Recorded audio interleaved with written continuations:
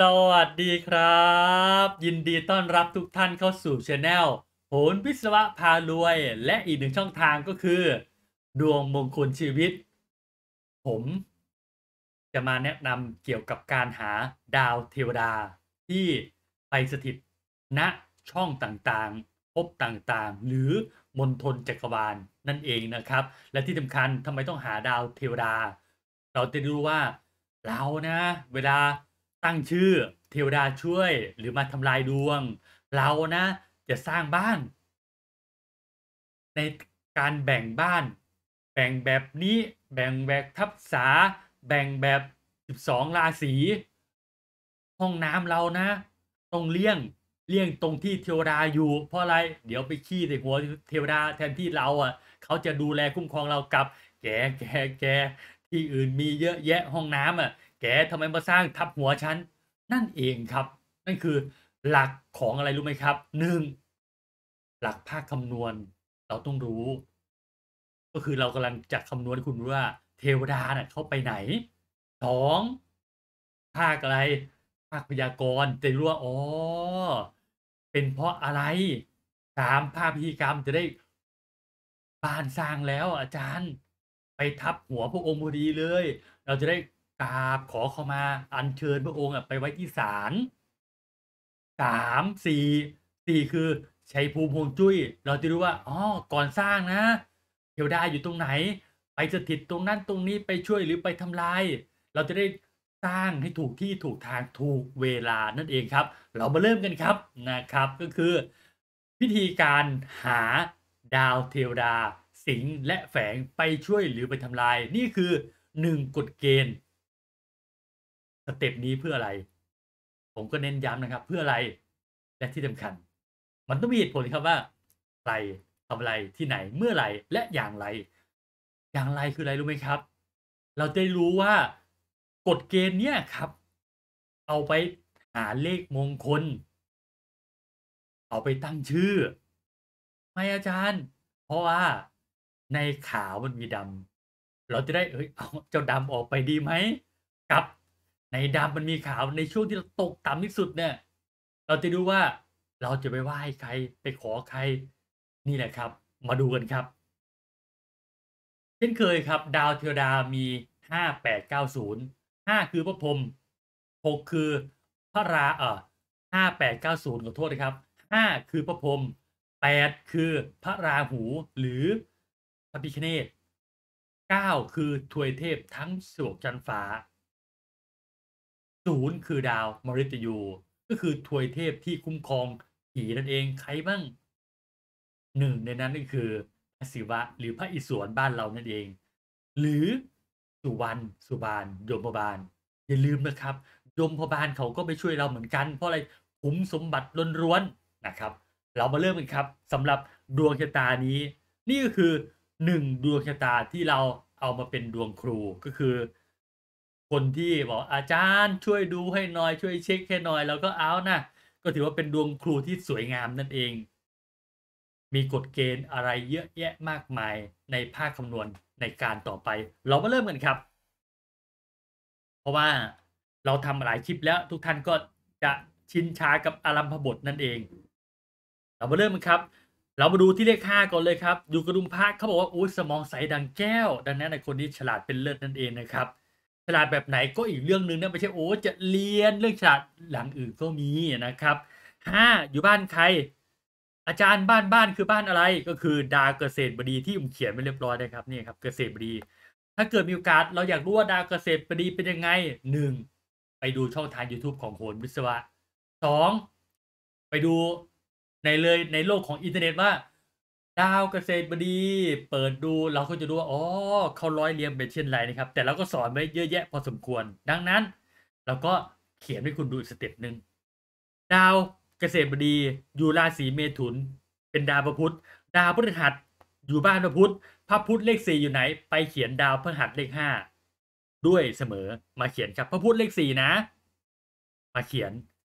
เอาเฉพาะห้าแปดเก้าศูนย์ก็พอที่เหลือไม่ต้องครับ เทวดาเยอะแยะขนาดนั้นเดี๋ยวงงครับ กฎเกณฑ์ใช้สี่พระองค์ก็พอ ต่อมาครับ เลขแปดอยู่บ้านใครอีกราศีกันเจ้าเรือนเป็นพระพุทธนะครับเกษตรบดีเป็นพระพุทธ พระพุทธอยู่ไหนไปเขียน 8 อยู่ที่นั่น ต่อมามฤตยูเลขศูนย์อยู่บ้านใคร อยู่บ้านพระศุกร์เลขหกเลขหกอยู่ไหน ไปเขียนมฤตยูอยู่ที่ตำแหน่งนั้น พระเกตเลขเก้าอยู่บ้านใคร อยู่บ้านพักคานเลขสามพังคานเลขสามอยู่ไหน ไปเขียนพังคานอยู่ณตำแหน่งนั้นนะครับพังคารมาเขียนเลขเก้าอยู่ตำแหน่งนี้นั่นเองง่ายไหมครับ เดี๋ยวผมเขียนใหม่ให้ดูอีกหนึ่งครั้งนะครับ ง่าย ๆนะครับก็มาดูกันเลยครับ ผมชอบบอกคนที่มาเรียนเสียว่า ถ้าเกิดดาวเทวดาสิงแฝง เราเริ่มเขียนที่ห้านะ เพื่อการความผิดพลาดของเรา เราลองเริ่มที่เลขศูนย์บ้างสิ เลขแปดบ้างสิยาเลขเดียวเพราะอะไร เทวดามีทั้งสิงและแฝงคำว่าแฝงคือกินเดิม เลขเดิมเขามีอะไรเขาจะตามไปด้วยเสมอ ดังนั้นเราลองเลขศูนย์ดู เลขศูนย์อยู่บ้านพระศุกร์พระศุกอยู่ไหน ไปเขียนเลขศูนย์เลขเก้าอยู่บ้านพังคาร พังคารเลขสามอยู่ไหน ไปเขียนเลขเก้าเลขแปดอยู่ไหน เลขแปดอยู่บ้านพระพุธเลขสี่ไปเขียนเลขแปดอยู่บ้านพระพุธอยู่กับพระพุธขออภัยนะครับ เลขห้าอยู่บ้านใคร อยู่บ้านพระพุธราศีเมถุน ก็ไปเขียนเลขห้าอยู่กับพระพุธเสร็จแล้วเรามาดูครับว่าผีหรือเทวดา มาช่วยหรือมาทำลาย กฎเกณฑ์ง่ายๆครับ ถ้ามฤตยูดวงเดียวทำลายหมด ไม่มีข้อยกเว้น ต่อให้ราหูเป็นเพื่อนรักเพื่อนเลิฟเขาก็บอกว่าเอ้ยราหูแกเร็วเหรอเร็วมากใช่ไหมกระชากมาครึ่งหนึ่งครับ เหมือนกันครับราหูไปอยู่กับมฤตยูแกช้านักเหรอสปีดหน่อยครึ่งหนึ่งดังนั้นบางครั้งเพศแวอายุมีส่วนสำคัญ ผมแก่มากแล้วเนี่ยผมขาวแล้วเนี่ย ผมจะเร็วเหมือนวัยรุ่นได้ไหมไม่ได้ ผมต้องช้าลง กับผมเนี่ยโอ้โหเพิ่งอายุสิบห้าจะช้าเหมือนคนแก่ได้ไหมไม่ได้ ต้องเร็วขึ้นนะครับโหราศาสตร์อิงกับเพศวัยอายุฐานะการศึกษา ภูมิศาสตร์ ภูมิประเทศเสมอนะครับ เรามาเริ่มกันที่เลข 9 มาช่วยหรือมาทำลาย เลข 3 กับเลข 7 หรือภาคการกับพระเสาร์พระเกตไม่สนใจครับ ช่วยหมดยกเว้นมุตยู ดังนั้นมาเขียนบวก อยู่ที่เลข3มมาเขียนบวกอยู่ที่เลข7ง่ายไหมครับ ง่ายมาก ส่วนเทวดานะครับ ที่บอกว่าถ้าเกิดมาเกินสามพระองค์ ช่วยอุตรุดไม่มีข้อยกเว้น แต่ถ้าเกิดมาสองพระองค์ต้องพิจารณานะครับ ด้วยดาวคู่นั่นเองแปดสี่แปลว่าไม่เชื่อต้องพิสูจน์ดังนั้นเป็นลบ แต่บางคนถามว่าอาจารย์ถ้าเกิดผมไปเป็นผู้พิพากษา ผมไปเป็นอายการ ผมเป็นนักโตวาที ผมไปเป็นนักข่าวนักสืบพิมพ์สุดยอดไหมสุดยอดครับ ดังนั้นนั่นคือภาคพยากรณ์ แต่แต่แต่นี่คือกฎเกณฑ์ว่า อดีตการนันไกลเขาว่าแปดสี่เป็นลบนะครับ ดังนั้นแปดสี่เป็นลบแล้วนะครับ ส่วนสี่ห้าล่ะห้าสี่ล่ะ เป็นเชิงบวก ดังนั้น ลบเจอบวกเป็นเท่ากับพระพุธเป็นเท่ากับทันทีครับผม ง่ายไหม ง่ายเนาะสุดท้ายมฤตยู มาช่วยหรือมาทำลายหนึ่งกับหกหรืออาทิตย์กับพระศุกร์มฤตยูเจอใครลบหมดครับ ไม่ต้องคิดเยอะ ลบนะครับ ลบ ดังนั้นชิวๆกันได้เลยครับ ที่เหลืออาจารย์ เลขห้าไม่ต้องคิดเหรอไม่ต้อง เลขสองเลขแปดไม่ต้องคิดเหรอไม่ต้องครับเอาเฉพาะเทวดาสิงแฝงมาช่วยหรือมาทำลายก็พอนะครับ นี่คือหนึ่งกฎเกณฑ์เอาไว้ตั้งชื่อหาตัวเลขมงคลและหาอะไรหาดาวจรเพื่ออะไรโอ้อาจารย์ตอนนี้ผมป่วยหนักเลยเนี่ย ทางรอดของชีวิตมันเป็นยังไงโอ้อาจารย์ตอนนี้ผมนะตกกรรมลำบากมากเลย ธุรกิจสุด หาทางออกผมหน่อยนี่เลยครับคือดีเสียสี่ประการเพื่อหาทางออกของดวงชะตานะครับ วันนี้ผมก็ขอขอบคุณทุกท่านนะครับสำหรับผู้ที่ใฝ่เรียนใฝ่รู้ คุณ สามารถเป็นผู้เรียนรู้ด้วยตัวเอง คุณ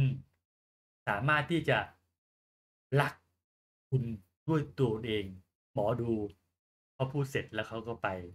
แต่คุณสิครับ อาจารย์ชื่อนี้เป็นมงคลกับผมไหม